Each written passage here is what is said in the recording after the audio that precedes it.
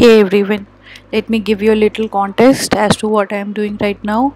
I am trying to build my sample application and once the application is built there you go. It is trying to launch the application. And this is the flutter inspector that is opening right now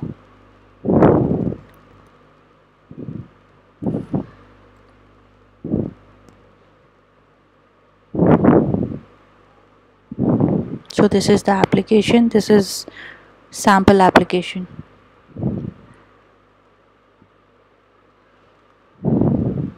So if you see here the key I was talking about in the previous section the key will be seen here okay as counter so you can give uh, if you are going to automate this automate. In the uh, in my next session I'll be most probably be showing you how to automate it.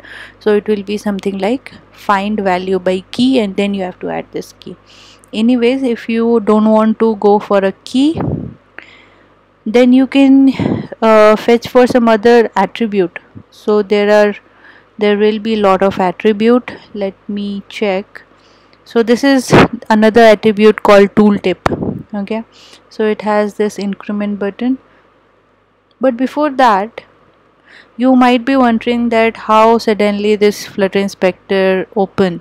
So is it something like automatically it opens? So let me tell you no.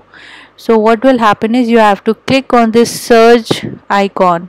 So this is something like flutter inspector on the first time when you hit it what will happen is that you have to download a package or a tool here in VS Code called DevTools okay? And then what happens is it will establish a connector a connection with the device application and then it will launch here okay?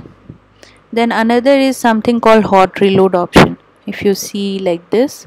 So this icon is primarily I would say it's not for a tester it's a it's for a developer. Something like if see at the runtime uh, what happens is my application is launched okay and your debug session is going on. So if you see here this is my debug session going on okay?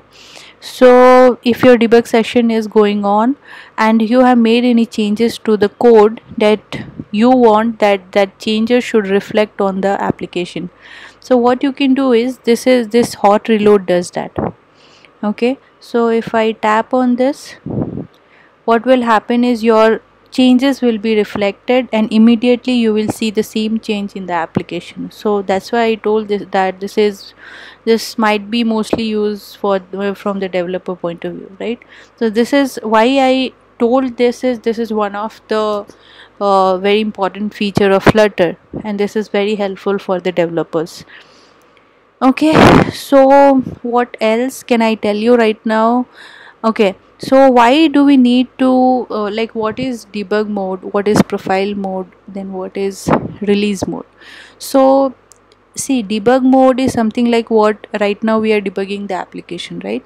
So generally the command for the same would be if you if you say the command for that so it is something like flutter build okay so let me open this or maybe the same command information you can get from uh, flutter uh, official website. But then if you want I can provide you those commands.